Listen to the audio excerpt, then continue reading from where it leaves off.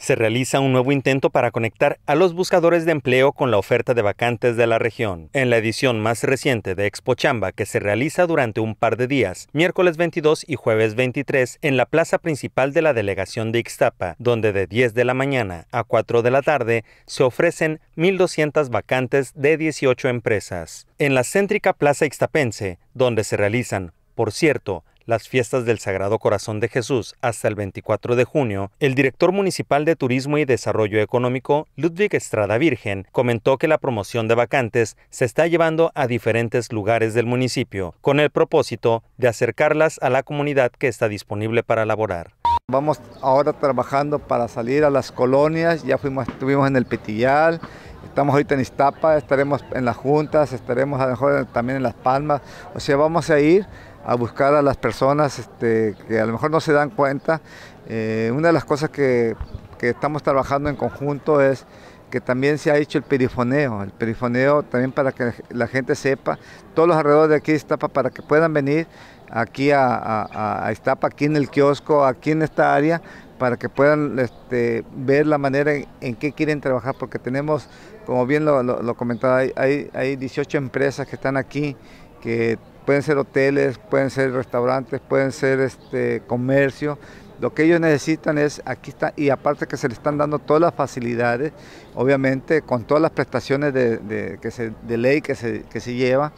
para tener ese empleo. El director de turismo en el municipio comentó que muchas empresas requieren trabajadores antes del periodo vacacional de verano que iniciará en menos de un mes. El funcionario municipal reconoció que hay nuevas modalidades de trabajo desde las redes sociales, pero enfatizó que la seguridad social es algo muy importante para todas las personas, como es el caso de los servicios de salud y el ahorro para el retiro. Pero yo creo que también este, el tener una, una seguridad también eh, de seguro social, de todas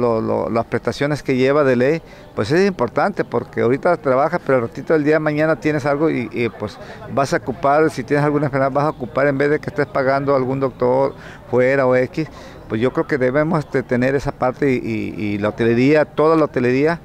incluso ya no está trabajando como trabajaron anteriormente, que era pues el trabajo mínimo, también te dan las propinas, todo. Se está viendo esa, esa, parte, o sea, ellos también están viendo esa, esa, esa parte. Por su parte, la delegada de Ixtapa, Manuela Ramos López, mencionó que es muy destacado que se ofrezca el empleo en todas las delegaciones, aunque lamenta que mucha gente simplemente no quiera trabajar en una empresa. Pues yo para mí está muy bien que vengan aquí a todas las delegaciones a ofrecer el empleo,